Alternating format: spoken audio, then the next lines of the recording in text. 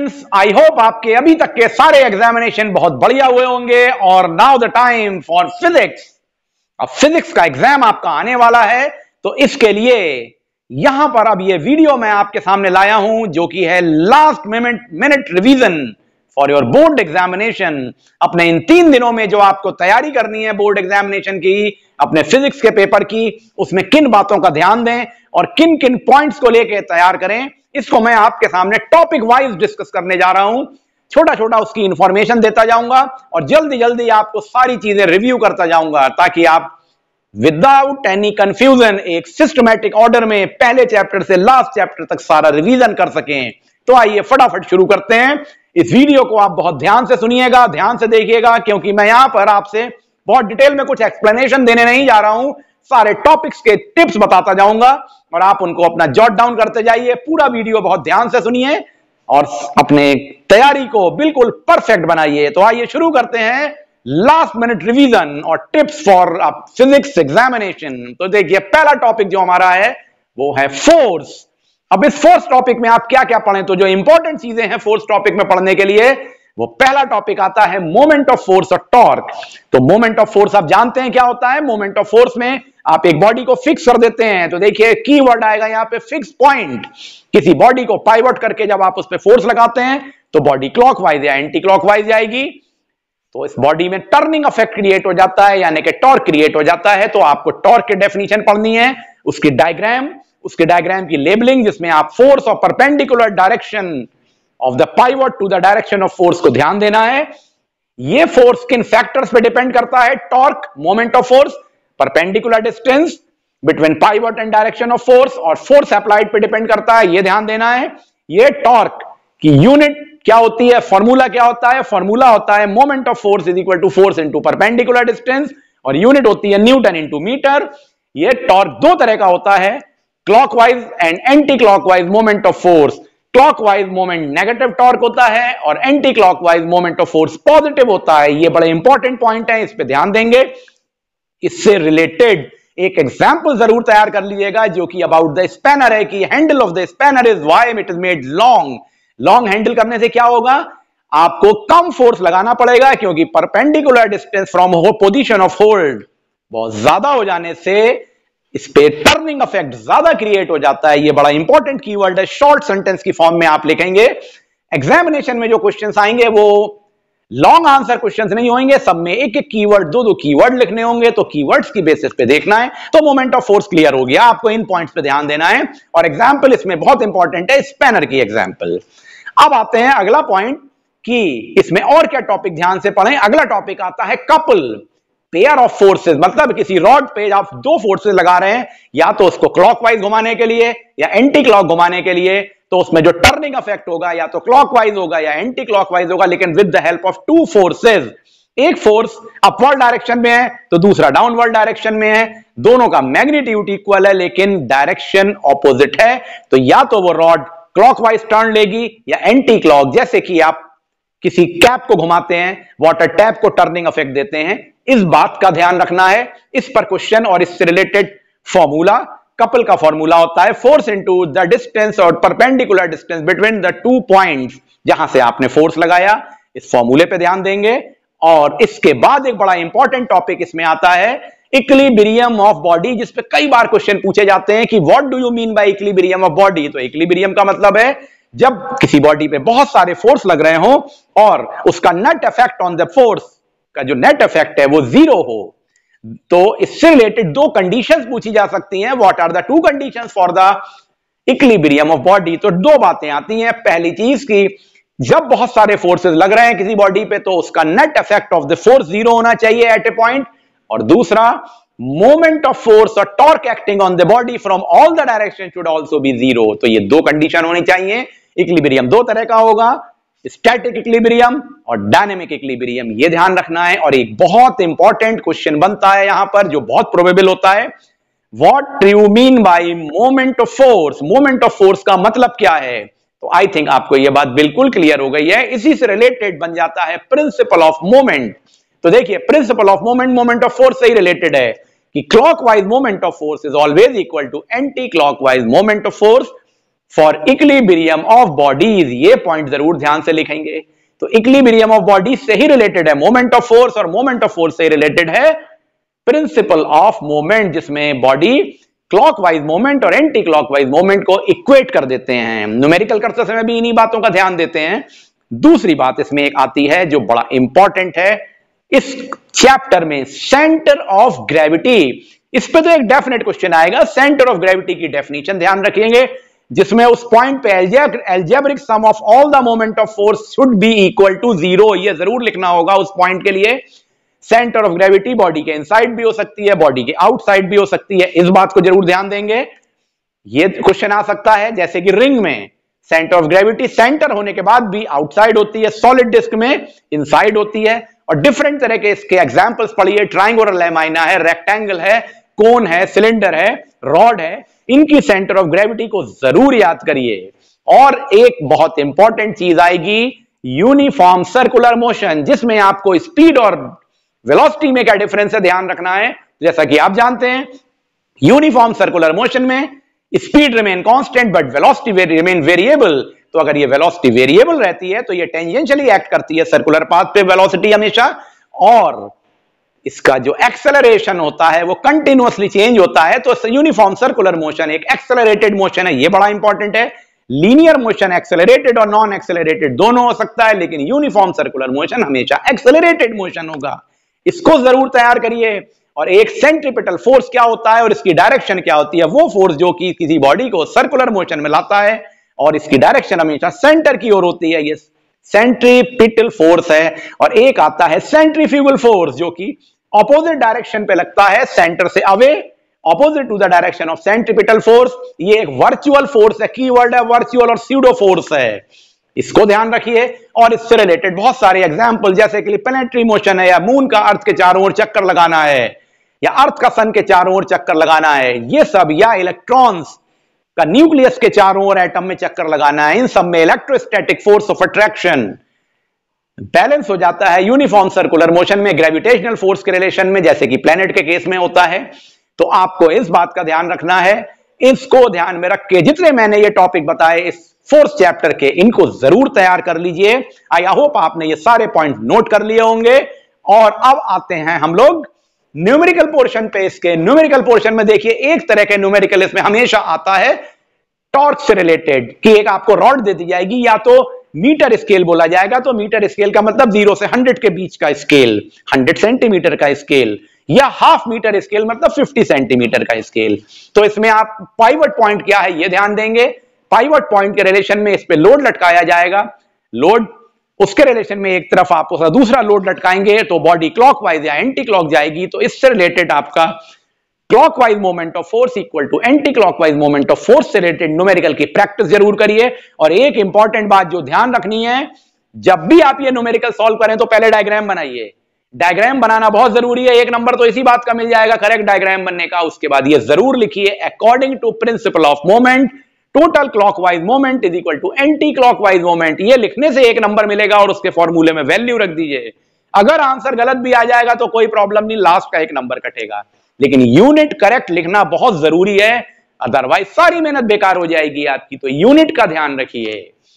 और जितने भी आंसर निकालिए, हमेशा डेसिमल के बाद दो प्लेसेस तक निकालिए। आई होप आपको फोर्थ चैप्टर के बारे में सब कुछ बिल्कुल क्लियर हो गया होगा। तो आइए अब शुरू करते हैं अगला topic work power and energy इसमें आपको क्या क्या मेन चीज़ें पढ़नी है, उसका एक्सप्लेनेशन भी दे देता हूँ और टॉपिक भी बता देता हूँ मैं आपको। तो देखिए वर्क पावर एनर्जी में पहला टॉपिक आता है वर्क बड़ा इंपॉर्टेंट टॉपिक है। वर्क क्या होता है? वर्क जब जब जब किसी बॉडी पे हम फोर्स लगाते हैं तो बॉडी उस डायरेक्शन में डिस्प्लेस हो जाती है जिधर फोर्स लगाया गया। तो W is equal to force into displacement होता है। आप इसको ध्यान रखिए। वर्क का formula W is equal to F into S बनेगा। और displacement is in the direction of force applied होता है। इस बात को ज़रूर ध्यान रखेंगे। वर्क दो फैक्टर्स पे डिपेंड कर रहा है। वर्क डन यानी related with force applied and displacement दूसरी बात, ये वर्क स्केलर क्वांटिटी है। इसकी यूनिट होती है joule one joule is equal to one newton into one metre होता है। अब ध्यान दीजिएगा, अभी इससे पहले हमने टॉर्क के बारे में पढ़ा था। मोमेंट ऑफ़ फोर्स वो भी न्यूटन इंटू मीटर है, लेकिन टॉर्क एक वेक्टर क्वांटिटी थी। और यहाँ वर्क एक स्केलर क्वांटिटी है, जबकि दोनों की यूनिट सिमिलर है न्यूटन इंटू मीटर इसके बाद आता है, जब हमने किसी बॉडी पे फोर्स लगाया, लेकिन वो डायरेक्शन उसके डिस्प्लेसमेंट की different from the direction of force है। तब आप कहेंगे फॉर्मूला बनेगा W is equal to F into S now the comparison is जब फॉर्मूला बन रहा है W is equal to F into S तो वर्क डन मैक्सिमम है। पॉजिटिव है और डिस्प्लेसमेंट ऑफ़ फोर्स के बीच का एंगल थीटा ज़ीरो डिग्री है तो मैक्सिमम वर्क होगा पॉजिटिव वर्क होगा। लेकिन जैसे ही एक सर्टेन एंगल बन जाएगा वर्क डन डिक्रीज होने लगेगा। और इसके रिलेशन में अगली कंडीशन आती है कि अगर आपने डिस्प्लेसमेंट की डायरेक्शन फोर्स की डायरेक्शन से नॉर्मल पे कर दी, यानी direction of force and displacement are normal और परपेंडिकुलर टू ईच अदर तो एंगल बन गया 90 डिग्री का। और अगर एंगल 90 डिग्री का बन गया तो work done F S cos ninety से ज़ीरो हो जाएगा नो वर्क इज़ डन एक बड़ी स्पेसिफिक कंडीशन है जिसपे क्वेश्चन आता है। Man carrying the load over his head moving he does no work why because the direction of the displacement and force are perpendicular to each other तो आप इसको ध्यान रखेंगे। लेकिन एक क्वेश्चन और आ जाता है। In spite of that man get tired जो काम तो नहीं कर रहा है, लेकिन थक जाता है। क्यों? He does no work because the direction of force and displacement are perpendicular but he get tired because of the work done due to force of friction against the gravity ये बात ध्यान रखेंगे इसको ध्यान में रखिए और आंसर को लिख दीजिए ऐसे ही क्वेश्चन आ जाता है राइट द टू कंडीशंस और three condition when the work done is zero तो आप किसी बॉडी पे डिस्प्लेसमेंट ज़ीरो कर दें दीवार पे धक्का दें तो वर्क डन ज़ीरो होगा या आपका direction of displacement and force perpendicular यानी 90 डिग्री के एंगल पे है तो वर्क डन ज़ीरो होगा। आप यूनिफॉर्म सर्कुलर मोशन में चक्कर लगा के जब वापस अपनी पोजीशन पे आ जाते हैं, एक चक्कर के बाद तो वर्क डन ज़ीरो होगा। तो वर्क की कंडीशन हो सकती है वर्क की यूनिट जैसा मैंने बोला S I unit joule CGS unit erg होती है। One joule is equal to ten to the power seven erg होता है, ये ध्यान रखिए। Now we come to work in the relation to negative work done अगर हमने बॉडी पे फोर्स लगाया और body opposite direction to the direction of the force displace हो गई तो वर्क डन हो जाएगा नेगेटिव क्योंकि फॉर्मूला बन जाएगा W is equal to F S cos one eighty और कॉस वन एट्टी की वैल्यू माइनस वन होती है तो वर्क डन ज़ीरो हो गया यहाँ सॉरी वर्क डन यहाँ पे नेगेटिव हो गया। ये वर्क डन नेगेटिव आने से एग्ज़ाम्पल क्या बनेगा? जैसे कि रॉकेट का उड़ जाना। आप गुलेल से पत्थर मारते हैं तो फोर्स पीछे को लगाते हैं बॉडी आगे को चली जाती है। इस तरह के एग्ज़ाम्पल पे ध्यान दीजिए। इसी तरह से वर्क डन का एक और कंडीशन आती है work done in relation to gravity जब किसी बॉडी को आप ऊपर की ओर फोर्स लगा के उठाएँगे तो अगेंस्ट द ग्रेविटी उठाएँगे बॉडी को ऊपर से नीचे गिराएँगे तो टुवर्ड्स द ग्रेविटी गिराएँगे तो ग्रेविटी फोर्स एम जी है और डिस्प्लेसमेंट एच है तो फॉर्मूला बन जाएगा W is equal to M G H ये work done against the gravity और टुवर्ड्स द ग्रेविटी कहलाता है। तो या तो ये माइनस एम जी एच होगा जब अगेंस्ट द ग्रेविटी जा रहे हैं और टुवर्ड्स द ग्रेविटी आ रहे हैं तो प्लस एम जी एच होगा। ये तो हो गया। वर्क डन वर्क के बाद अगली कंडीशन आती है पावर पावर क्या होता है? Power is your rate of doing work work upon time तो power is equal to work upon time तो क्रॉस मल्टीप्लाई करिए तो एक और फॉर्मूला बनेगा work is equal to power into time SI unit of power is watt तो one watt is equal to one joule upon one second या कह सकते हैं one joule is equal to one watt into one second power का एक और formula बन जाता है वर्क अपॉन टाइम में work is equal to force into displacement upon time से डिस्प्लेसमेंट अपॉन टाइम से वेलोसिटी आ जाता है तो power is equal to force into velocity ये भी एक फॉर्मूला बन जाएगा। पावर की हायर यूनिट पे बहुत क्वेश्चन पूछे जाते हैं। Megawatt ten to the power six watt के बराबर होता है। Kilo watt one ten to the the power three what के बराबर होता है। और हॉर्स पावर के रिलेशन में one horse power is equal to seven forty six watt होता है। इस बात को ध्यान में रखिए। और यूनिट पे आ जाएँ। तो पावर की यूनिट आपको क्लियर हो गई। अगर एनर्जी वर्क पे आ जाए तो वर्क की यूनिट जूल है। और अब इसी रिलेशन पे आते हैं एनर्जी एनर्जी और वर्क एक ही चीज़ है, इस बात को ध्यान रखिए, क्योंकि वर्क डन से ही एनर्जी रिलेटेड है। तो यूनिट ऑफ़ वर्क डन और एनर्जी सिमिलर होगी। Never get confuse with this ये एनर्जी जो हमारे सिलेबस में है, वो दो तरह की एनर्जी पढ़नी है। कानेटिक एनर्जी और पोटेंशियल एनर्जी जिसे हम इन ऑल मैकेनिकल एनर्जी कहते हैं। तो वो एनर्जी जो बाई वर्च्यू ऑफ़ मोशन है, जिसका फॉर्मूला हम kinetic energy is equal to half M V square कहते हैं, ये होता है। ये काइनेटिक एनर्जी तीन तरह की कैटेगरी में डिवाइड हो जाती है। Rotational kinetic energy vibrational kinetic energy और लीनियर और translational kinetic energy potential energy due to specific position of rest और change in the configuration of the body shape और साइज़ ऑफ़ द बॉडी के relation में होती है। जो gravitational potential energy है, उसका फॉर्मूला होता है PE is equal to M G H mass है एम जी है ग्रेविटी और एच है height from the ground level ध्यान दीजिएगा। हाइट फ्रॉम ग्राउंड लेवल और दूसरी होती है शेप और साइज़ में चेंज होने से इलास्टिक पोटेंशियल एनर्जी अगली बात आती है कि दो बॉडीज हैं, इस पे क्वेश्चन आ सकता है। एक बॉडी ज़्यादा हाइट पे एक बॉडी कम हाइट पे है। तो जो ज़्यादा हाइट पे है इक्वल वेट की बॉडी उसमें पोटेंशियल एनर्जी ज़्यादा होगी। इसी से रिलेटेड एक वर्ड आता है work energy theorem according to work energy theorem क्या होगा? Change in the kinetic energy is always equal to work done यानी final kinetic energy minus initial kinetic energy half M V square minus half M U square is equal to work done होता है, इसे work energy theorem कहते हैं। ये तैयार करिए, और एक और आता है relation relation between momentum and kinetic energy अगर relation between momentum and kinetic energy पढ़ना है, बहुत आसान तरीका है। इसको आप कैसे याद कर सकते हैं? मोमेंटम का formula P is equal to M V लिख लिया, काइनेटिक एनर्जी का formula half M V square लिख लिया, और दोनों में डिवाइड कर दिया आपस में एक दूसरे से, और उसके रिलेशन को आप तैयार कर सकते हैं। आई होप आप बहुत आसानी से इसको तैयार कर लेंगे, पर ये बड़ा इंपॉर्टेंट टॉपिक है। इसको तैयार करिए। इसके बाद जो एक इंपॉर्टेंट टॉपिक है, बड़ी डेफिनेशन है simple C law of conservation of energy according to law of conservation of energy total energy of the system remain constant बच्चे ये कभी कांस्टेंट वर्ड नहीं लिखते हैं। ये लिखना बहुत ज़रूरी है।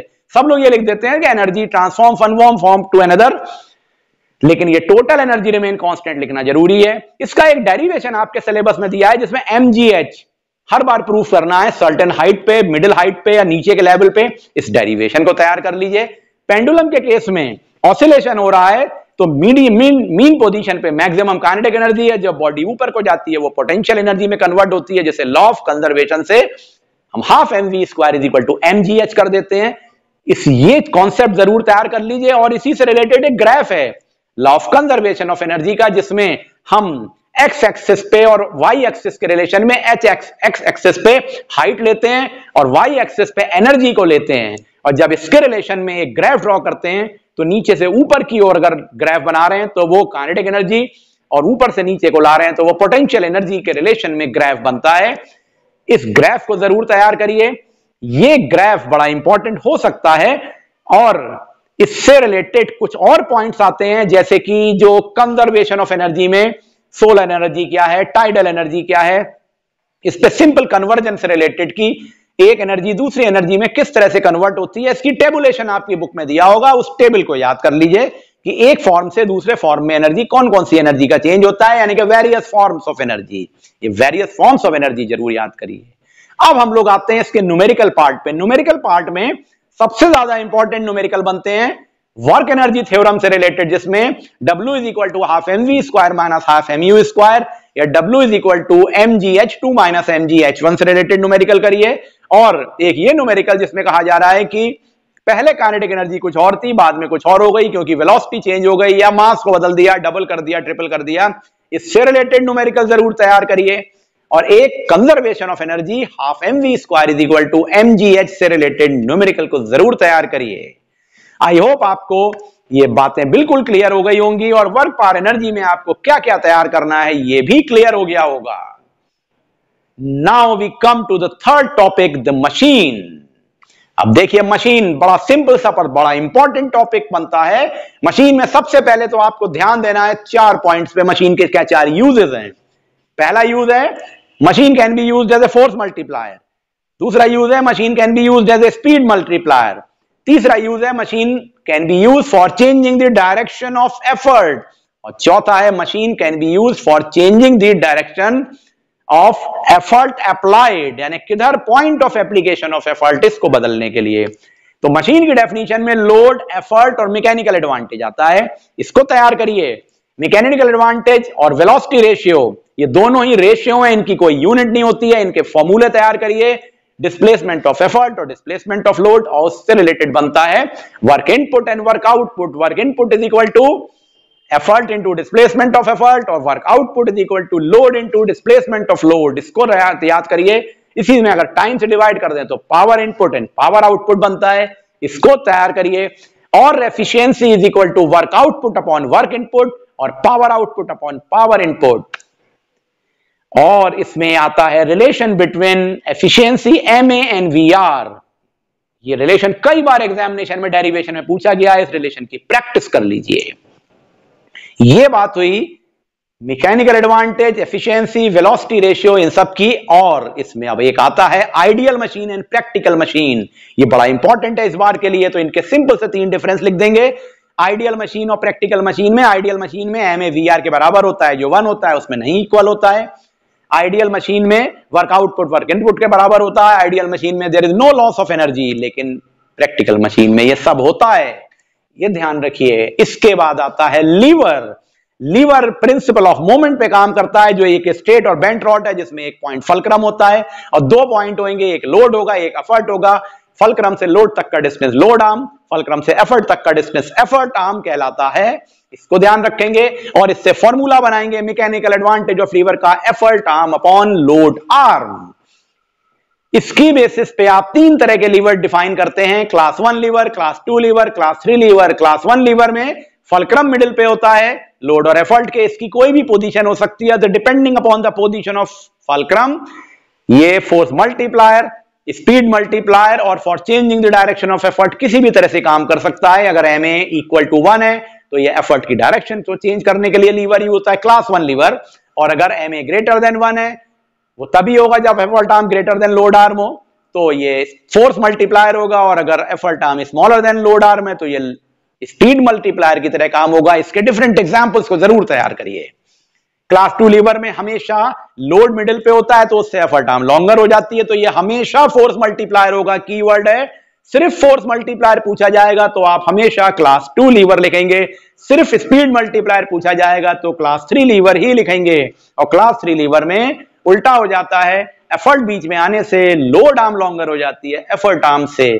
और लीवर से रिलेटेड ह्यूमन बॉडी के तीनों एग्ज़ाम्पल ज़रूर याद करिए। Class one, class two, class three lever, जो कि हमारी एक्सेस वर्टिब्रा से रिलेटेड और हाथ से रिलेटेड जब हम पाम से सामान को उठाते हैं या चलते हैं तो टोस से और पैर से रिलेटेड जो एग्ज़ाम्पल है, ये ज़रूर तैयार करिए।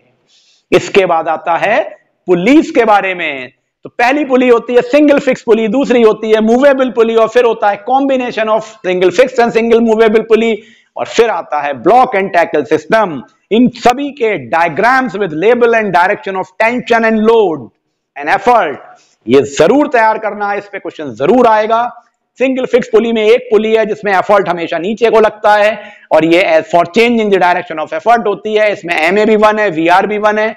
तो ये केवल एफर्ट के डायरेक्शन को चेंज करता है और एफर्ट डाउनवर्ड होता है और इससे बढ़िया पुली होती है मूवेबल पुली का combination combination of move movable pulley movable pulley में क्या होता है? मैकेनिकल एडवांटेज एक से ज़्यादा हो जाता है क्योंकि लोड टू टी के बराबर हो जाता है। वेलोसिटी रेशियो भी टू हो जाता है। तो इसे फोर्स मल्टीप्लायर की तरह काम करता है तो सबसे बढ़िया तरीका है, दोनों को मिला दें, क्योंकि मूवेबल पुली में एफर्ट अपवर्ड होता है। दोनों को कॉम्बिनेशन कर देंगे तो एफर्ट डाउनवर्ड और M A greater than one हो जाता है। इसी से बनाया गया है ब्लॉक एंड टैकल सिस्टम चार पुली और फाइव पुली का ब्लॉक एंड टैकल सिस्टम तो है, लेकिन थ्री पुली का डायग्राम भी बनाइए, इसकी भी प्रैक्टिस करिए। ये भी बहुत इंपॉर्टेंट है, दो साल पहले इस पे डायग्राम आया था। इन सभी डायग्राम्स की प्रैक्टिस करिए। और इससे रिलेटेड टेंशन जो डायरेक्शन ऑफ़ टेंशन होती है स्ट्रिंग्स में उसको सही से मार्क करना सीखिए। लोड में एरो हमेशा डाउनवर्ड ग्रेविटी की तरफ़ ज़रूर बनाएँगे। और एक क्वेश्चन इस पे और आता है why the weight of the lower block is made less इसको कम क्यों रखा जाता है? लोअर ब्लॉक में कम पुली लगाई जाती है, उसका वज़न कम से कम कर रखा जाता है ताकि फोर्स ऑफ़ फ्रिक्शन और एनर्जी लॉसेस को बचाया जा सके। जितना कम से कम वेट होगा लोअर ब्लॉक का उतनी एफिशिएंसी ज़्यादा होगी एनर्जी लॉसेस कम होंगे। तो मशीन चैप्टर में तो बहुत कम है पढ़ने के लिए, लेकिन बड़ा इंपॉर्टेंट है। आई होप आपको ये तीन चैप्टर्स पूरे समझ में आ गए होंगे। अब हम लोग शुरू करते हैं रिफ्रैक्शन एट प्लेन सरफेस तो देखिए रिफ्रैक्शन एट प्लेन सरफेस में डेफिनेशन ऑफ़ रिफ्रैक्शन ज़रूर पढ़िए। कई बार आ चुकी है। Change in direction of path of light when light passing from one medium to another दूसरा, इसके रे डायग्राम की प्रैक्टिस ज़रूर करिए कि when light passes from denser to rare और रेयर टू डेंसर तो कि अवे द नॉर्मल जा रही है लाइट रे की टुवर्ड्स द नॉर्मल आ रही है, ये ध्यान से पढ़िए। और एक इंपॉर्टेंट बात है, जो बड़ा इंपॉर्टेंट टॉपिक है, जिसे आगे भी रे डायग्राम में यूज़ करते हैं कि जब लाइट नॉर्मल डायरेक्शन पे किसी सरफेस पे गिरती है तो इट पास इज़ अनडिविएटेड जिसमें एंगल ऑफ़ इंसिडेंस भी ज़ीरो होता है एंगल ऑफ़ रिफ्लेक्शन भी ज़ीरो होता है। ये ध्यान रखिए और इसको तैयार करिए। इससे रिलेटेड अगली बात आती है कॉज ऑफ़ रिफ्रैक्शन छोटा सा पॉइंट लिखेंगे when light passes from one medium to another there is a change in speed of light बस, इतना लिखिए, पूरे नंबर पाइए। Change in speed of light when light passes from one medium to another इसके बाद जो बहुत इंपॉर्टेंट न्यूमेरिकल के लिए भी बड़ा इंपॉर्टेंट है, वो है स्नेल्स लॉ तो स्नेल्स लॉ दोनों लॉ याद करेंगे। जब भी स्नेल्स लॉ आएगा, दोनों लॉज लिखेंगे। और दूसरा लॉ बड़ा इंपॉर्टेंट है sine I upon sine R एक कांस्टेंट रेशियो है, जिसको हम रिफ्रैक्टिव इंडेक्स कहते हैं फॉर पेयर ऑफ़ मीडिया ध्यान से वर्ड देखिएगा for a pair of media तो इससे रिलेटेड दूसरा फॉर्मूला जो बनता है speed of light in air और vacuum upon speed of light in medium इसके रिलेशन में रिफ्रैक्टिव इंडेक्स लिखने का तरीका और उसमें वैल्यू रख के न्यूमेरिकल निकालना है। फिर आता है factor affecting the refractive index of medium temperature है एंगल ऑफ़ इंसिडेंस है और वट जो भी फैक्टर्स हैं, तीन चार factors colour and wavelength है स्पीड ऑफ़ लाइट है, ये सब फैक्टर किस तरह से इफ़ेक्टिव इंडेक्स को वेरिएट करते हैं, इसको ध्यान से पढ़िए। आई थिंक आपको ये बात क्लियर हो गई अब। अब आते हैं प्रिंसिपल ऑफ़ रिवर्सिबिलिटी पे। तो प्रिंसिपल ऑफ़ रिवर्सिबिलिटी का डायग्राम इस पे बोर्ड में कई बार क्वेश्चन आया है, जिसमें मिरर नीचे लगाता है लाइट रे रिफ्लेक्ट हो जाती है और इसका फॉर्मूला इंडिकेट करता है। दो मीडिया की रिफ्रैक्टिव इंडेक्स एक दूसरे से इनवर्सली रिलेटेड होती है। ये ध्यान से पढ़िए। उसके बाद बहुत बहुत इंपॉर्टेंट है इस बार के लिए। Lateral displacement to flight through glass slab इसका डायग्राम प्रैक्टिस कर लीजिए और इसमें angle of incidence angle of emergence आपस में बराबर होते हैं। इंसिडेंट रे और जो एमरजेंट रे है, वो एक दूसरे के पैरेलल निकलती हैं। इसको सही से बनाइए। इसका perpendicular distance between these two rays ज़रूर ठीक ठाक से बनाएँगे। इसको प्रैक्टिस बहुत अच्छे से करिए। बहुत सिंपल सा टॉपिक है। रे डायग्राम ज़्यादा है, किन फैक्टर्स पे डिपेंड करता है thickness of the glass slab और एंगल ऑफ़ इंसिडेंस इसको ध्यान रखिए। इसके बाद आता है प्रिज्म। प्रिज्म में रिफ्रैक्शन हो रहा है तो उसका जो रे डायग्राम बनता है, जिसमें angle of incidence angle of emergence और उससे एंगल ऑफ़ डिविएशन और उसका फॉर्मूला ये ज़रूर ध्यान रखिए। इसको तैयार करिए। और ज़्यादा कठिन फॉर्मूले में जाने की ज़रूरत नहीं पड़ेगी। और एक और इंपॉर्टेंट टॉपिक है रियल एंड एपरेंट डेप्थ इसका सिर्फ़ फॉर्मूला याद रखना है और एक डायग्राम प्रैक्टिस करना है perfectly bending of pencil when dipped in water इस पर रे डायग्राम बनाने को मुझे होप है, ज़रूर आएगा ये। तो ये बेंडिंग ऑफ़ पेंसिल का डायग्राम ज़रूर तैयार करिए, इससे रिलेटेड ये बहुत इंपॉर्टेंट है और इसके बाद आता है क्रिटिकल एंगल और total internal reflection critical angle की डेफिनेशन किस कंडीशन में ये होता है, और क्रिटिकल एंगल का जो फॉर्मूला है रिफ्रैक्टिव इंडेक्स से रिलेटेड कोसिक आईसी से रिलेटेड वो ज़रूर तैयार करिए। फिर टीआईआर की कंडीशन और टीआईआर की डेफिनेशन की। जब angle of incidence greater than critical angle हो जाता है तो टीआईआर हो जाता है। आप इसको तैयार करिए। और अब आते हैं बड़े इंपॉर्टेंट टॉपिक पे, जिसपे तीन, दो या तीन नंबर का एक परफेक्टली क्वेश्चन आएगा। वो है रे डायग्राम्स को कंप्लीट करना in relation to logic of total internal reflection and critical angle और डिफरेंट तरह के प्रिज्म में राइट एंगल प्रिज्म हो सकता है इक्विलेटरल प्रिज्म हो सकता है 60 60 30 90 डिग्री का प्रिज्म हो सकता है।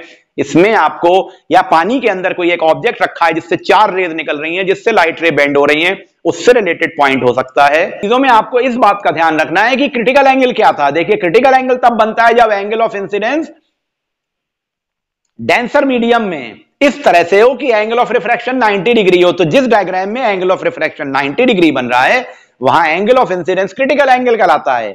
और अगर एंगल ऑफ़ रिफ्रैक्शन 90 डिग्री नहीं है तो angle of incidence less than critical angle होगा तो सिंपल रिफ्रैक्शन होगा।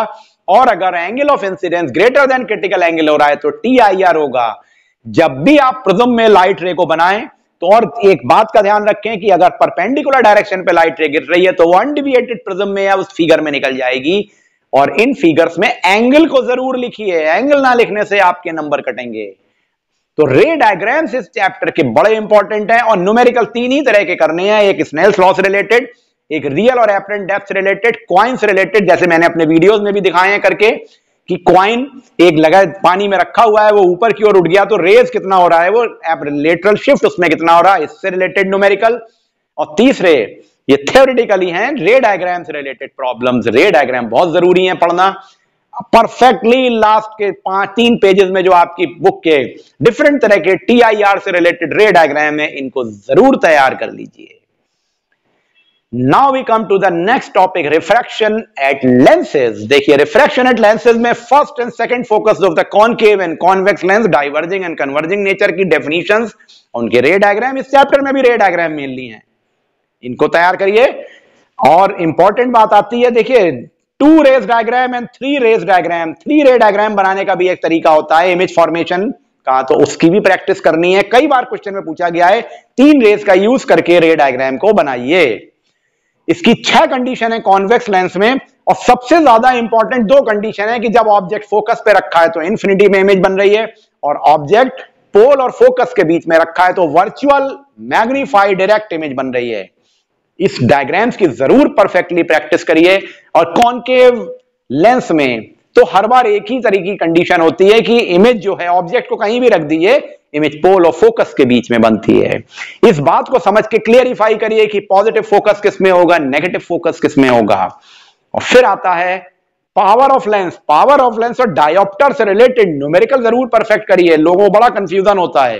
Power is equal to one upon F होता है तो ये दोनों इनवर्सली रिलेटेड है। तो अगर पावर जैसे जैसे ज़्यादा हो रही है, इसका मतलब फोकल लेंथ कम हो रही है। तो फोकल लेंथ ज़्यादा होने से पावर कम होगी तो ये इनवर्स रिलेशन को ध्यान में रखना है।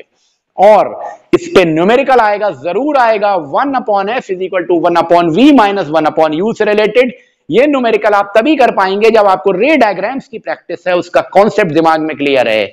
जब भी आप इन न्यूमेरिकल को करेंगे तो साइन कन्वेंशन यूज़ करेंगे, जो अननोन वैल्यूज़ हैं, उनके साइन को ज़रूर लगाएँगे।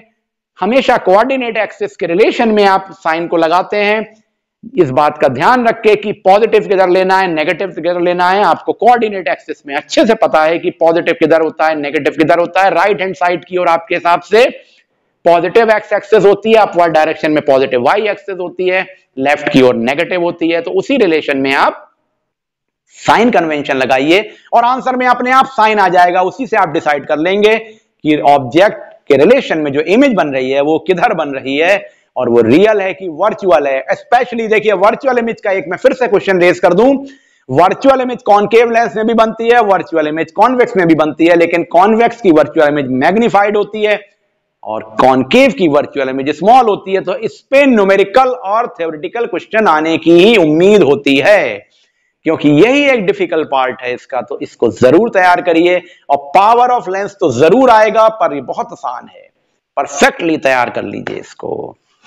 और इसके बाद अब आते हैं हम लोग स्पेक्ट्रम पे। स्पेक्ट्रम बहुत ही आसान है।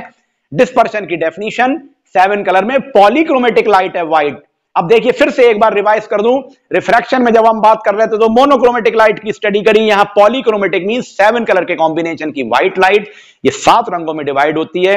बहुत अच्छे से क्लियरली याद रखिए speed of red light maximum होती है तो वेवलेंथ रेड लाइट की मैक्सिमम होती है वॉलेट की स्पीड सबसे कम होती है तो वेवलेंथ सबसे कम होती है, लेकिन रिफ्रैक्टिव इंडेक्स वॉलेट की सबसे ज़्यादा होती है तो बेंडिंग भी वॉलेट की सबसे ज़्यादा होती है, और रेड में वेवलेंथ सॉरी रिफ्रैक्टिव इंडेक्स सबसे कम होने से बेंडिंग भी सबसे कम होती है, बाकी कलर तो बीच में आ रहे हैं इसमें।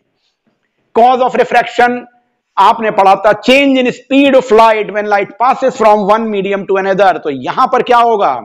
यहाँ ये नहीं है, यहाँ पे जब लाइट किसी मीडियम में आ जाती है ग्लास में आ गई ना जैसे एयर से तो हर कलर की अलग अलग स्पीड है ड्यू टू डिफरेंट वेवलेंथ ये कॉज ऑफ़ डिस्पर्शन होगा। तो कॉज ऑफ़ डिस्पर्शन अलग है कॉज ऑफ़ रिफ्रैक्शन अलग है। इस बात का ध्यान रखिए, यहाँ पे आपको डिस्पर्शन में लिखना है different colours have different speed in a medium यानी कि ग्लास इसके बाद तीन वेव्स बड़े इंपॉर्टेंट हैं पढ़ने के लिए। पहला है एक्सरे के बारे में पढ़ लीजिए कि एक्सरे का क्या यूज़ है। दूसरी बात आती है, बहुत important UV rays and infrared rays UV rays और इंफ्रारेड के डिटेक्शन के बारे में। यूवी रेज का डिटेक्शन करने के लिए हम सिल्वर क्लोराइड सोल्यूशन लेके उसके ऊपर जब वेव पास करते हैं तो वो कलर चेंज होता है ब्लू से ब्लैक की ओर। ये डिटेक्शन कहलाता है। इसको ध्यान रखिए, ऐसे इंफ्रारेड का डिटेक्शन ध्यान रखिए। हॉट थर्मोमीटर के रिलेशन में करते हैं। एक आता है प्रिज्म का यूज़ करते हैं क्वाड प्रिज्म का यूज़ करते हैं यूवी रेस के स्पेक्ट्रम को पता लगाने के लिए।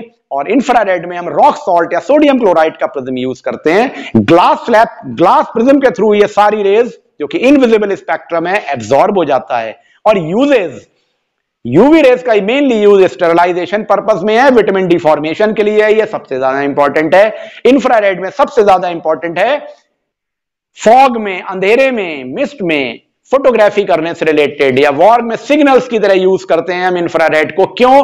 क्योंकि इनकी वेवलेंथ बहुत ज़्यादा होती है हाई स्पीड होने के कारण। और इसके बाद एक और टॉपिक आता है स्कैटरिंग ऑफ़ लाइट जिसमें रेडिक लॉ पढ़ना है। Scattering is the absorption and re of light ये शब्द याद रखने हैं, और intensity of scattering inversely proportional to fourth power of the wavelength होती है। तो आई होप आपको ये सारी बातें समझ गए होंगे, और इससे रिलेटेड क्लाउड में ब्लैक कलर के क्लाउड बन रहे हैं व्हाइट कलर के क्लाउड बन रहे हैं, कब बन रहे हैं, बड़े साइज़ के क्लाउड में, और छोटे साइज़ के क्लाउड में वेवलेंथ का, और फिर स्कैटरिंग का क्या रिलेशन है, ये ज़रूर पढ़ना है, और red colour of the sun होता है। कब? जब सनराइज और सनसेट है अदरवाइज़ ब्लू स्काई दिखाई पड़ता है। क्यों? Due to scattering of violet much more इस रीजन को तैयार कर लीजिए बहुत अच्छे से। ये सब बड़े इंपॉर्टेंट टॉपिक्स हैं। Now we come to the topic sound देखिए साउंड टॉपिक में जो पहला क्वेश्चन आपको कंफर्म मिलेगा वो होगा about the echo echo echo की डेफिनेशन आपको तैयार करनी है। इको की क्या कंडीशंस हैं? दो 17.1 मीटर का डिस्टेंस और 0.1 सेकंड का टाइम ड्यूरेशन। या एक और कंडीशन है size of the reflector should be greater than the wavelength of light ये ज़रूर तैयार कर लीजिए, इसका formula v is equal to two D upon T और इस पे न्यूमेरिकल ज़रूर मिलना है आपको, हर हालत में न्यूमेरिकल आएगा इस पे। ये ज़रूर तैयार करिए। इको के क्या यूजेस हैं specially in the case of bat ultrasonic wave produce करते हैं या सोनार सिस्टम में साउंड नेविगेशन सिस्टम के थ्रू हम डिटेक्ट करते हैं सी डेप्थ को। ये सब यूज़ कर, तैयार कर लीजिए। और इससे ही रिलेटेड इको और रिवर्बरेशन में क्या फ़र्क है? देखिए इको तब होगा जब 17.1 मीटर का डिस्टेंस मिनिमम हो ऑब्जेक्ट और साउंड सोर्स के बीच में ऑब्स्टेकल के बीच में, लेकिन रिवर्बरेशन तब होगा जब डिस्टेंस कम होता है तो ओरिजिनल साउंड सीज नहीं करती है, बल्कि ओरिजिनल साउंड एब्जॉर्ब मिक्स हो जाती है पुरानी ओरिजिनल साउंड और नई रिफ्लेक्टेड साउंड के साथ में तो वो बहुत सारे वाइब्रेशन आने लगते हैं, जबकि इको में क्या होता है?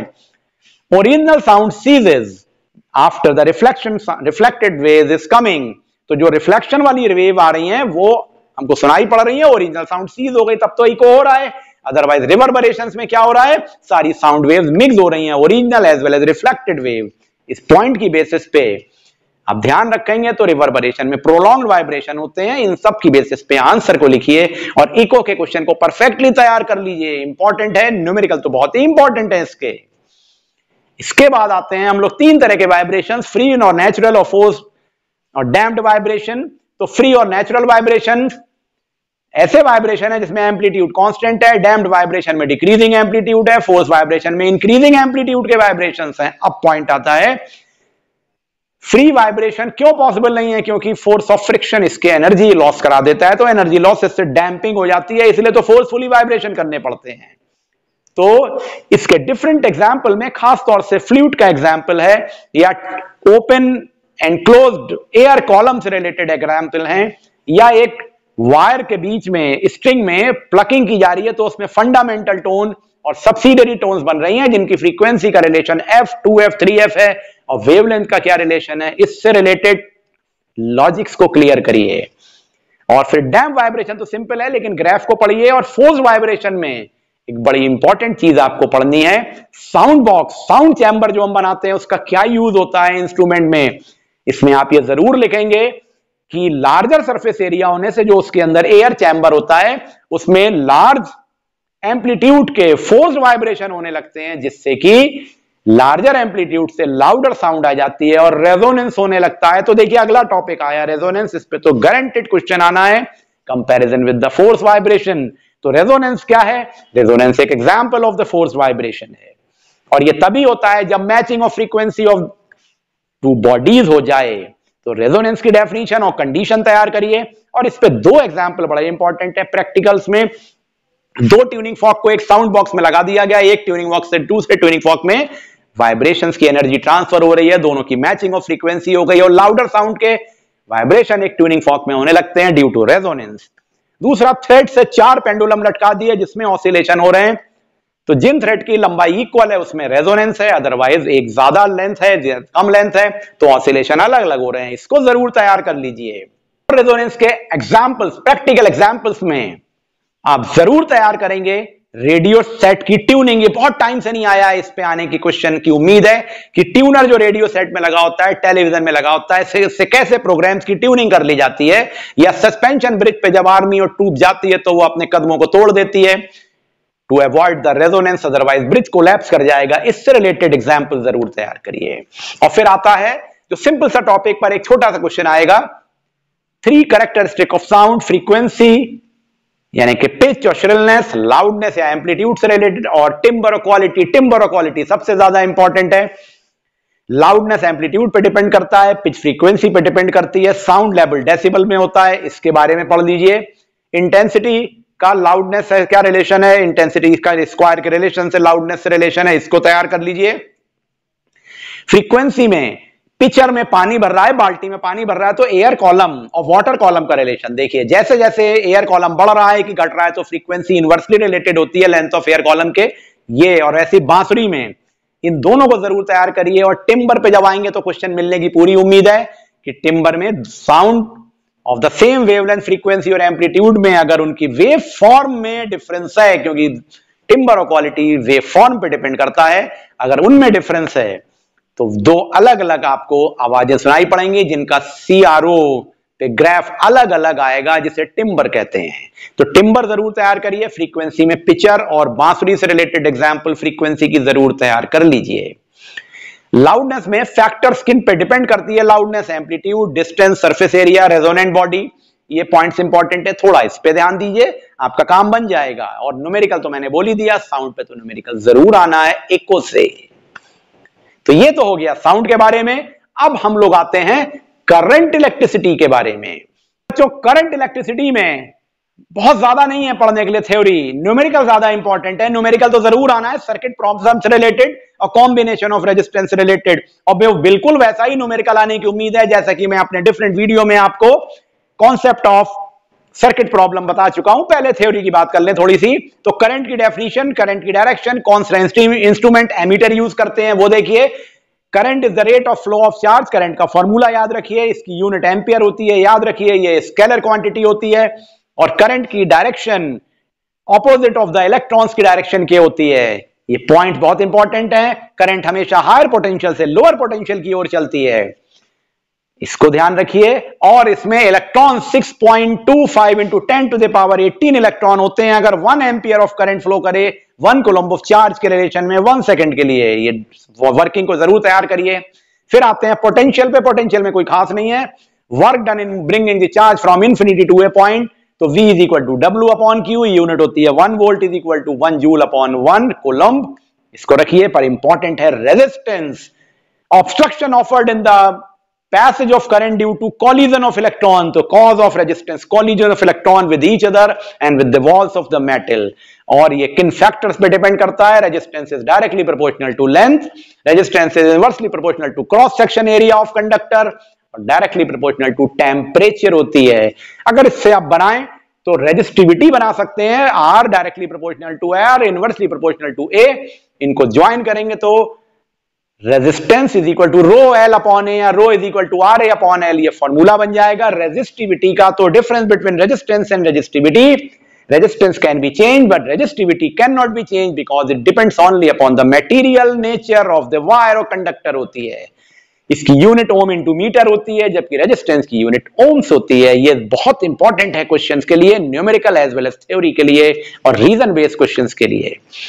फिर आता है ओम्स लॉ V और I का डायरेक्ट रिलेशन होता है, V is equal to I R तो R is equal to V upon I ये तो है ही सिंपल सी चीज़, पर इसमें इंपॉर्टेंट दो चीज़ें हैं difference between ohmic conductor and non ohmic conductor के डिफरेंसेस और उसका ग्राफ और जो ग्राफ बनाते हैं ना, उसमें बहुत बहुत ज़्यादा इंपॉर्टेंट है दो तरह के graph graph I versus B और वी वर्सेस आई देखिए, ध्यान दीजिएगा, जब आप एक्स एक्सिस पे आई ले रहे हैं और वाई एक्सिस पे वी ले रहे हैं तो जो लाइन बनेगी वो स्ट्रेट होगी, जो रेजिस्टेंस को बताएगी R is equal to V upon I या delta V upon delta I लेकिन अगर आप उसका उल्टा कर दें एक्स एक्सिस पे वोल्टेज को ले लें, ध्यान से सुनिएगा एक्स एक्सिस पे वोल्टेज को ले लें और वाई एक्सिस पे करंट को ले लें तो जो ग्राफ बनेगा ना, वो वन अपॉन आर का इंडिकेशन देगा। स्ट्रेट लाइन तो बनेगी, पर वो रेजिस्टेंस नहीं होगी।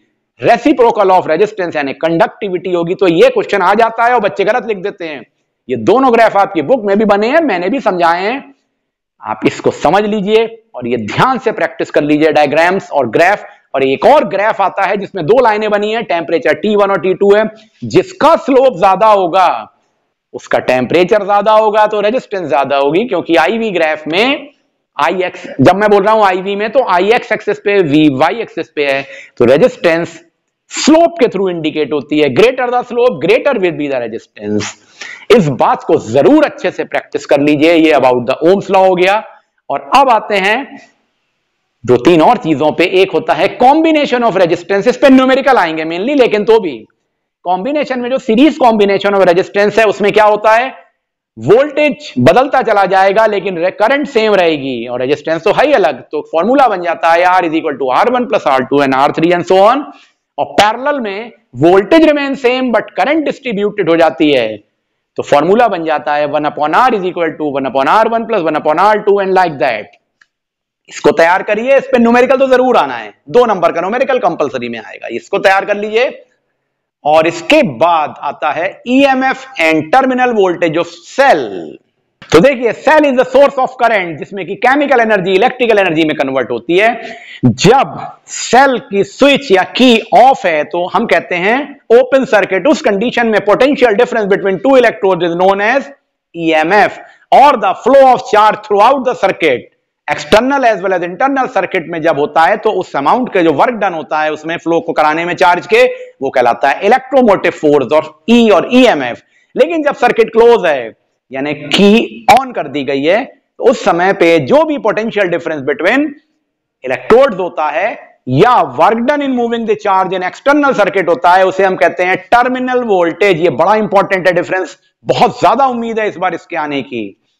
तो इसको तैयार कर लीजिए इनका डिफरेंस और साथ में आता है internal resistance the resistance offered inside the electrolyte due to cation and anion तो जब करंट इलेक्ट्रोलाइट के अंदर सेल में फ्लो करती है तो obstruction in the passage of current is known as internal resistance small R जिसके कारण होता है वोल्टेज ड्रॉप यानी EMF minus terminal voltage is equal to voltage drop होता है तो E minus I into capital R is equal to I into small R इससे formula बन जाता है I is equal to E upon capital R plus small R जिसकी help से आप न्यूमेरिकल सॉल्व करते हैं, या V is equal to I R ही है ये इसको इंपॉर्टेंट वे में तैयार कर लीजिए। इस पे क्वेश्चन ज़रूर आना है और इसी से रिलेटेड सर्किट प्रॉब्लम्स जिसमें दो रेजिस्टेंस सीरीज़ या पैरेलल में लगे हुए हैं और उससे आपको ईएमएफ दिया है करंट निकालनी है इंटरनल रेजिस्टेंस वोल्टेज वट इन सब के वीडियोस आप मेरे देख सकते हैं, जिसको आप ज़रूर प्रैक्टिस करिए।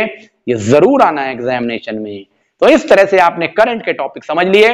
Now we come to next topic household electricity household electricity में इनफैक्ट वो करंट का भी एक टॉपिक लेते हैं, जिसमें इलेक्ट्रिकल एनर्जी और इलेक्ट्रिकल पावर के बारे में चार चार फॉर्मूले हैं। फॉर्मूले को याद रखिए, और इससे ज़्यादा इंपॉर्टेंट आता है rating of electrical appliance.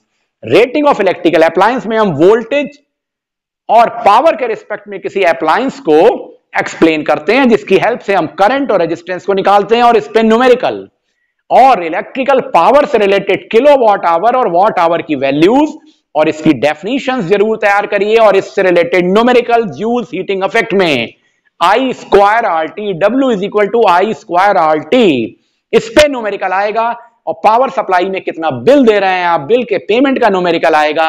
ज़्यादा कठिन न्यूमेरिकल नहीं करने हैं सिंपल ये न्यूमेरिकल करने हैं और रेटिंग ऑफ़ अप्लायंस से रिलेटेड न्यूमेरिकल करने हैं। इसके बाद आता है हाउस होल्ड इलेक्ट्रिसिटी का main topic transmission of power जिसपे क्वेश्चन आने की पूरी उम्मीद है।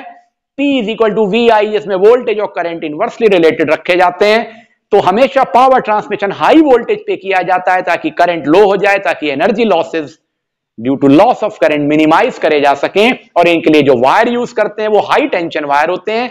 हाई टेंशन वायर पतले पतले कई सारे वायर को ट्विस्ट करके बनाते हैं ताकि उनका सरफेस एरिया ज़्यादा हो जाए, उनमें ऑफ़र होने वाला रेजिस्टेंस कम हो जाए और आसानी से हाई वोल्टेज पे पावर सप्लाई की जा सके। ये पावर ट्रांसमिशन हो गया। इसके बाद आते हैं तीन तरह के वायर्स, जो कि हम हाउस होल्ड सप्लाई में लेते हैं केबल के अंदर होते हैं, जिसे हम कहते हैं लाइव न्यूट्रल अर्थ लाइव के थ्रू करंट जाती है न्यूट्रल के थ्रू रिटर्निंग करंट वापस आती है, और अर्थ अर्थिंग के लिए सेफ्टी मेजर्स में यूज़ किया जाता है। इनके बारे में तैयार करिए। हाउस होल्ड सर्किटिंग में 220 वोल्ट की पावर सप्लाई दी जाती है और ये सारे हमारे घर में जो हाउस होल्ड कनेक्शन है, ये पैरेलल में क्यों बनाए जाते हैं? इसको ज़रूर तैयार करिए। सीरीज़ में लगा देंगे इनको तो क्या नुकसान होगा? सिंपल सी बात है। एक रेफ्रिजरेटर और बल्ब को सीरीज़ में लगाने से प्रॉब्लम हो जाएगी, काम नहीं करेंगे। पैरल में सब अपने हिसाब से काम करते हैं, अपनी रेटिंग पे काम करते हैं, ये सब रीजन तैयार करिए। और प्रिकॉशंस हमको क्या लेने चाहिए? वेट हैंड से क्यों नहीं छूना चाहिए? इसको शॉर्ट सर्किटिंग क्या हो जाएगी? कब हो सकती है, आग लग सकती है, इससे रिलेटेड प्रिकॉशंस क्या होते हैं बहुत इंपॉर्टेंट है, इस पर जनरल वे में क्वेश्चन आएँगे। आप ये तैयार करिए। और जो बहुत इंपॉर्टेंट टॉपिक है, इसका वो है फ्यूज सिस्टम फ्यूज सिस्टम क्या है? ये एक सेफ्टी डिवाइस है, जिससे हम हाई वोल्टेज फ्लक्चुएशन से होने वाले डैमेजेस ऑफ़ अप्लायंस और शॉर्ट सर्किटिंग तो बचाते हैं। इसमें जो फ्यूज वायर यूज़ करते हैं, उसका मेल्टिंग पॉइंट लो रखते हैं रेजिस्टिविटी हाई रखते हैं। और ये लेड और टिन के अलॉय का बना हुआ कॉम्बिनेशन का वायर होता है। इसे पोर्सलिन के सॉकेट में लगाते हैं। ये कन्वेंशनल फ्यूज है, जो मॉडर्न फ्यूज होते हैं, उसमें एमसीबीज का यूज़ करते हैं मिनिएचर सर्किट ब्रेकर या कार्ट्रिज फ्यूज इलेक्ट्रॉनिक अप्लायंसेज में यूज़ करते हैं। इसके बारे में पढ़ लीजिए। और रेटिंग ऑफ़ फ्यूज यानी कि जितनी करंट आ रही है, उससे फ्यूज की रेटिंग थोड़ी ज़्यादा रखी जाती है। उस लेवल पे रेटिंग का क्या मतलब है, इसको तैयार करिए। और एक बहुत इंपॉर्टेंट चीज़ याद रखिए fuse is always connected in live wire neutral में नहीं।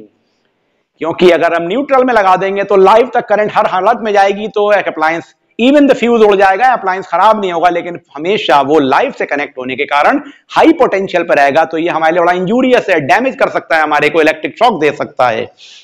ये बात ध्यान रखिए। उसके बाद आए अर्थिंग अर्थिंग लोकल अर्थिंग हमारे घर की अर्थिंग कैसे होती है? घर के सारे अर्थ वायर को कनेक्ट करते हैं हम एक कॉमन वायर के थ्रू कॉपर के ज़मीन में गड्ढा खोद के 20 फीट गहरा लगभग उसके थ्रू ले जाते हैं पाइप के थ्रू और नीचे कॉपर की बड़ी सी प्लेट लगा के वहाँ पे नमक और कोयला को वुड चारकोल को रखते हैं। ये सब गुड कंडक्टर है, जिससे कि सारी करंट एक्स्ट्रा करंट नीचे चली जाती है। हमें इलेक्ट्रिक शॉक नहीं लगता है। और दूसरा है इलेक्ट्रिकल अप्लायंसेज की अर्थिंग जिसके लिए उसकी बॉडी को खुरच के उसका पेंट हटा के वहाँ से वायर बाँध के अर्थ वायर से जोड़ देते हैं, ताकि हम मेटल के टोस्टर फॉर एग्ज़ाम्पल है, गीजर है, इसको छुए तो हमें इससे करंट ना लगे। इसे कहते हैं अर्थिंग ऑफ़ अप्लायंस तो दो तरह की अर्थिंग हो गई लोकल अर्थिंग और अर्थिंग ऑफ़ अप्लायंस इसको ध्यान रखिए। और इसके बाद आता है जिसपे छोटे छोटे क्वेश्चन आएँगे switch socket three pin plug top इन सबके बारे में स्विच का कनेक्शन लाइव वायर से किया जाता है सीरीज़ में कनेक्ट किया जाता है, ये स्विच ऑफ़ और ऑन डिवाइस है। थ्री पिन प्लग में लाइव न्यूट्रल अर्थ कौन कौन सी पोजीशन पे होते हैं? Earth pin longer and thicker क्यों बनाई जाती है? ताकि वो पहले इंसर्ट हो जाए सॉकेट में, और उसके बीच में स्प्लिटिंग होती है, उसका साइज़ मोटा होता है ताकि वो गलती से किसी और सॉकेट में ना चली जाए। ये आंसर्स में लिखना होगा आपको और इसके बाद आता है कलर कोडिंग के बारे में ओल्ड कन्वेंशन न्यू कन्वेंशन इसको तो याद करना है सेवल ये कर लीजिए और हाई टेंशन वायर की डेफिनेशन अभी मैंने पहले डिस्कस करी। इतना काम आप हाउस होल्ड इलेक्ट्रिक सर्किट में करिए और फुल मार्क्स पाइए। अब इसके बाद हम लोग आते हैं अगले टॉपिक कैलोरीमीट्री पे। देखिए कैलोरीमीट्री में कैलोरीमीट्री की क्या डेफिनेशन है? टेम्परेचर का रिलेशन इससे क्या है? ये पढ़िए। और ये तीन फैक्टर्स होते हैं mass specific heat capacity and rise और फॉल इन टेम्परेचर इससे रिलेटेड होती है बॉडी की अमाउंट ऑफ़ हीट गिवन और सप्लाइड ये ध्यान में रखिए। और हीट कैपेसिटी और स्पेसिफिक हीट कैपेसिटी का formula heat supplied upon mass into rise in temperature और heat supplied upon rise in temperature specific heat capacity और हीट कैपेसिटी की यूनिट ऑफ़ फॉर्मूला और उनका रिलेशन ये तैयार करिए। बहुत ज़्यादा इसमें थ्योरी नहीं है, पर बड़ी क्रिटिकल थ्योरी है। और उसके बाद मिक्सचर मेथड ये तो न्यूमेरिकल के लिए बहुत इंपॉर्टेंट है। दो न्यूमेरिकल मिलेंगे, एक मिक्सचर मेथड से और एक लेटेंट हीट से। मिक्सचर मेथड का कॉन्सेप्ट और डेरिवेशन याद रखिए। हॉट बॉडी में और कोल्ड बॉडी में loss in temperature fall in temperature का relation according to principle of calorimetry statement के साथ में इसको तैयार करेंगे। और उसके बाद आता है high specific heat capacity of water 4200 joule per kilogram per degree C इससे रिलेटेड कॉन्सिक्वेंसेस पानी का यूज़ हम फर्मेंटेशन में करते हैं। जाड़े के दिनों में खेत में किसान पानी भर देते हैं। लाइक दैट या कूलिंग सिस्टम में कूलिंग के लिए पानी का इफ़ेक्टिव यूज़ किया जाता है due to high specific heat capacity ये ध्यान रखिए। इसके बाद आते हैं चेंज ऑफ़ स्टेट पे लेटेंट हीट की डेफिनेशन इसकी यूनिट ये एक हिडन हीट है जो कि चेंज ऑफ़ स्टेट में यूज़ होती है। It is not related by manifestation of any rise of fall in temperature ये चीज़ याद रखेंगे। और इसका कानेटिक इंटरप्रिटेशन यानी इसमें कानेटिक एनर्जी और पोटेंशियल एनर्जी का क्या रिलेशन है? तो जो लेटेंट हीट है it is involve with that increase of potential energy जबकि rise of fall in temperature यानी स्पेसिफिक हीट कैपेसिटी का रिलेशन कानेटिक एनर्जी से रिलेटेड था। इस पे क्वेश्चंस बहुत बार आए हैं। इसको ज़रूर तैयार कर लीजिए।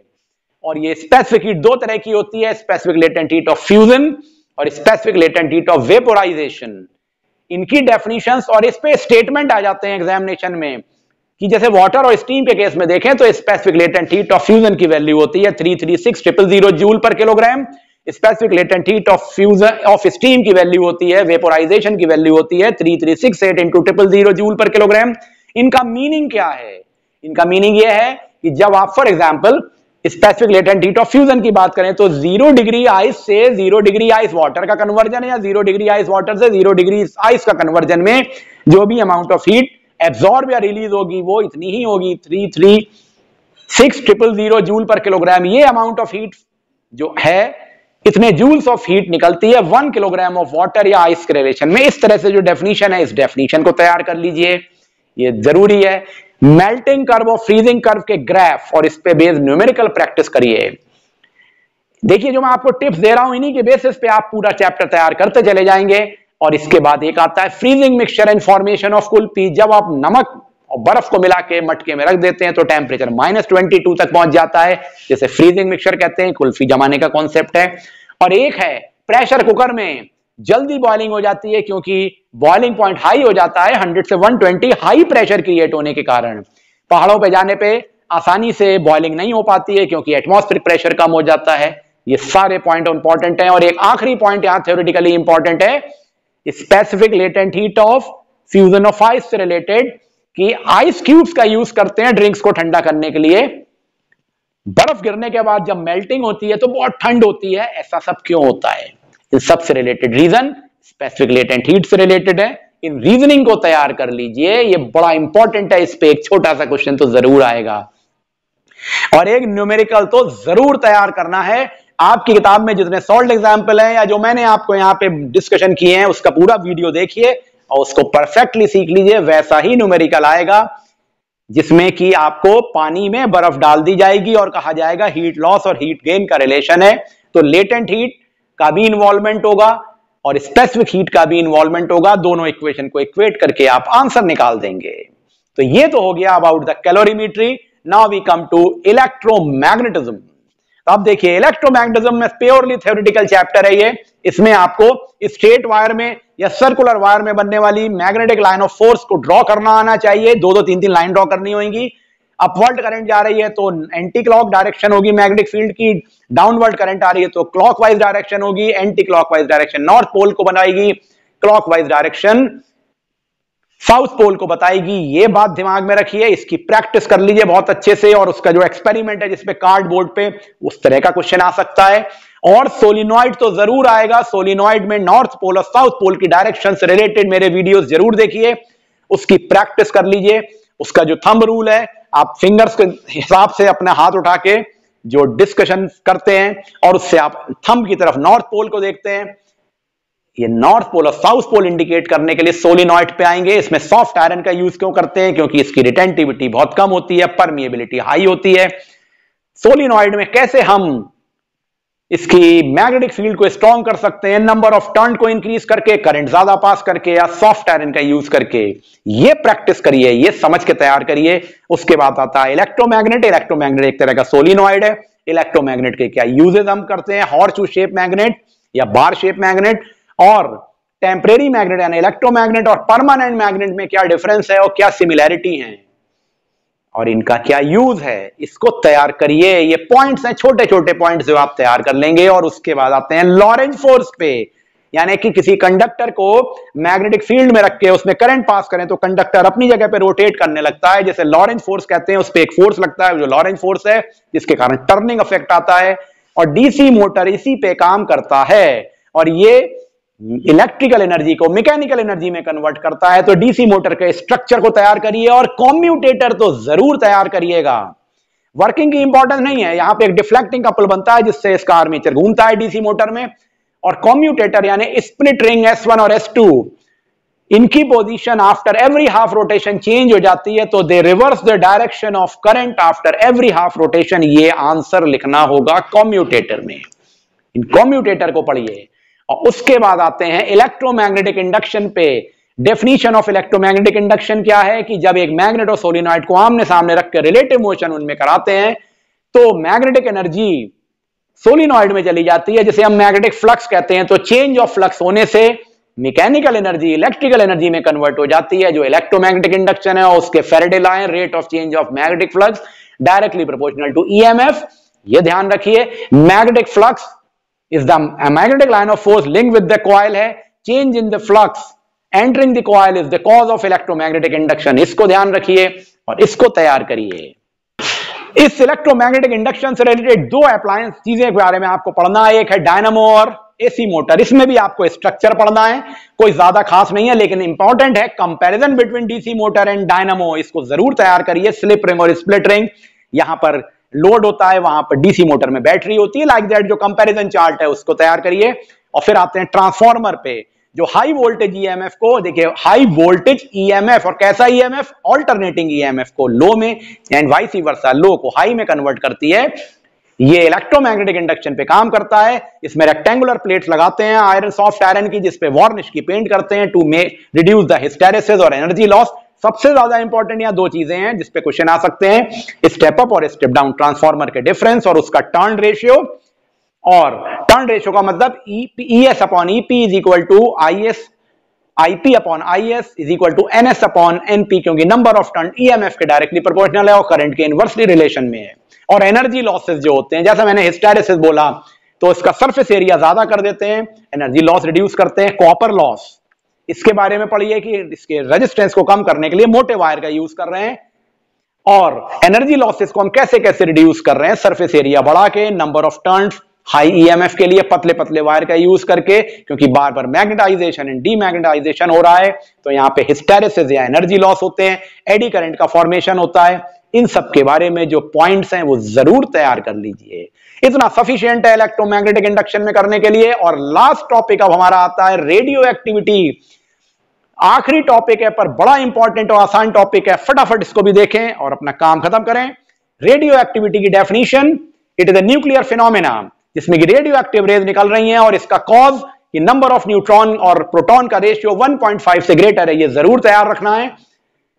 इसके एग्जाम्पल्स तरह तरह के जो टाइप्स हैं, उसके रेडियो एक्टिव एलिमेंट्स के एग्ज़ाम्पल और एक एक्सपेरिमेंट जो है, इसमें चैम्बर के अंदर रेडियो एक्टिव एलिमेंट रखा हुआ है, उससे तीन रेज निकल रही है। वो डायग्राम वाला क्वेश्चन ज़रूर तैयार करेंगे। अल्फ़ा बीटा गामा रेज हैं। गामा हमेशा रेज हैं अल्फ़ा बीटा पार्टिकल हो सकते हैं। इन अल्फ़ा बीटा गामा की प्रॉपर्टीज़ में खासतौर से सिंबल और doubly ionised helium singly ionised helium alpha के केस में बीटा पार्टिकल और गामा पार्टिकल रेस की प्रॉपर्टीज़ के बारे में। आइसोबार आइसोटोन आइसोटोप्स के एग्जाम्पल्स में से एक क्वेश्चन हमेशा आता है। इसको ज़रूर तैयार कर लीजिए। और इसमें है alpha decay and beta decay इस पे सिंपल सी एक इक्वेशन आएगी, आपको पता होगा अल्फ़ा पार्टिकल निकलता है तो एटॉमिक नंबर में चार यूनिट की कमी होती है एटॉमिक मास में दो यूनिट की कमी होती है, और बीटा पार्टिकल के डिके और रिलीज़ में मास नंबर में कोई चेंज नहीं होता है, लेकिन एटॉमिक नंबर में एक का इंक्रीज होता है और गामा में कुछ नहीं होता है। यह तैयार कर लीजिए। गामा रेडिएशन बहुत ज़्यादा इंजूरियस होता है मोस्ट हार्मफुल होता है, और इनके रेडियो एक्टिव एलिमेंट्स के डिस्पोजल सेफ़ डिस्पोजल के लिए हम कैस्केट बनाते हैं आयरन की ज़मीन के अंदर दबा देते हैं। इसके बारे में बहुत अच्छे से तैयारी कर लीजिए। इस पे क्वेश्चन आ जाता है। और एक होता है बैकग्राउंड रेडिएशन ये ज़रूर तैयार करेंगे। कॉस्मिक रेज आ रही है रेडॉन आ रहा है, हमारी बॉडी में भी पोटेशियम है। ये सब जो है बैकग्राउंड रेडिएशन है, जो रेडियो एक्टिव एलिमेंट होने के बाद भी हमको कोई हार्म नहीं पहुंचाते हैं। फिर आता है रेडियो एक्टिवेटिक एलिमेंट्स का यूज़ अरे बड़ा इंपॉर्टेंट यूज़ है कोबाल्ट थेरेपी कोबाल्ट के बारे में, radio sodium chloride, cardiovascular problems को डिटेक्ट करने के लिए ट्रेसर्स, इन सब के बारे में पढ़िए। आर्टिफिशियल तरीके से इसको ट्रांसम्यूटेशन के थ्रू बनाते हैं, जो हमारे लिए बहुत यूजफुल है रेडियो एक्टिव एलिमेंट्स। इनके बारे में क्वेश्चन तो ज़रूर आएगा। फॉसिल्स की एज पता लगाने के लिए हम कार्बन डेटिंग यूज़ करते हैं, ये भी रेडियो एक्टिविटी से रिलेटेड, बीटा रेस से रिलेटेड प्रॉब्लम है। इसके बारे में पढ़ लीजिए। और इसके बाद आखिर में एक छोटा सा टॉपिक है, जो बहुत थोड़ा सा है न्यूक्लियर फिजन एंड फ्यूजन इसकी डेफिनेशन न्यूक्लियर फिजन में दो, एक हैवी न्यूक्लियस न्यूट्रॉन के स्लो न्यूट्रॉन के बॉम्बार्टमेंट से लाइटर न्यूक्लियाई में टूटता है। इसकी इक्वेशन को तैयार करिए, इसकी डेफिनेशंस को। और न्यूक्लियर फ्यूजन में दो लाइटर न्यूक्लियाई जुड़ते हैं और एक बड़ा हैवी न्यूक्लियस बनाते हैं। ये हाई टेम्परेचर और हाई प्रेशर पे होता है। इसकी ये कंडीशन तैयार करिए। और न्यूक्लियर फिजन के समय जो आइसोटोप्स हैं यूरेनियम 235 और 238 इसके रिलेशन में इनके डिफरेंसेस इन आइटोप्स में कौन सा ज़्यादा फिजनेबल है? नहीं, ये ज़रूर तैयार करिए। और सन सोलर रेडिएशन जो आता है न्यूक्लियर फ्यूजन से आता है, इससे रिलेटेड क्वेश्चन तैयार करिए। और एक छोटा सा question E is equal to M C square पे, ये क्या होती है? Energy mass equivalent of Einstein equation इसको तैयार कर लीजिए। आई होप आपको जितना मैंने बोला, अगर आप पहले टॉपिक से लास्ट टॉपिक का इस ऑर्डर में मेरी बात को सुन चुके हैं और ये वीडियो देख चुके हैं तो आपको सब क्लियर हो गया। अब इसके बाद आप हर चैप्टर को जिस मैंने पॉइंट के लाइन ऑफ़ एक्शन पे बताया है, पढ़ते हुए तैयार करिए और डिफरेंट न्यूमेरिकल्स को तैयार करिए। आई होप आपका पेपर 100 आउट ऑफ़ 100 का होगा। अपने कॉन्फिडेंस और मोरल को हाई रखिएगा। कोई भी गलती नहीं होगी। अगर आप 15 मिनट में पेपर पढ़ के पूरा सब कुछ समझ लेंगे और फिर आंसर्स को तो आपको एक एक लाइन में लिखना है। Don't try to write long answers long answer आएँगे ही नहीं। वो आपको पूरा पूरा स्टेटमेंट देंगे क्वेश्चन पेपर पढ़ने में टाइम लगेगा आंसर एक वर्ड का होगा। इस बात को ध्यान में रख के आपको काम करना है। All the best to all of you and God bless you thank you very much